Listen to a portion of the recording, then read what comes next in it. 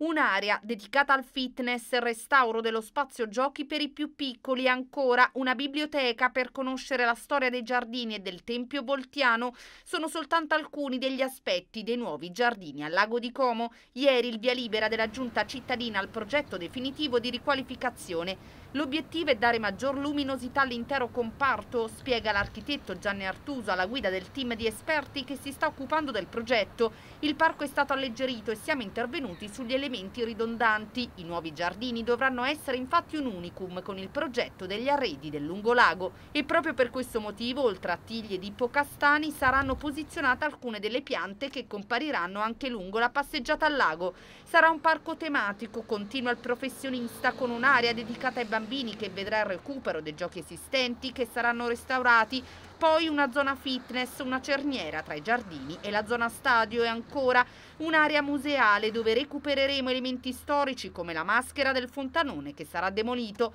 Infine l'oramai nota Battery sarà un luogo polifunzionale, aggiunge Artuso. Vi saranno collocati un piccolo bar, una biblioteca che ospiterà la storia dei giardini al lago e del Tempio Voltiano e anche uno showroom che potrebbe essere utilizzato per diverse funzioni, tra cui anche quella di Infopoint. Il prossimo step ora riguarderà indire la gara, poi una volta aggiudicata potranno partire i lavori, taglio del nastro previsto nell'estate del 2023.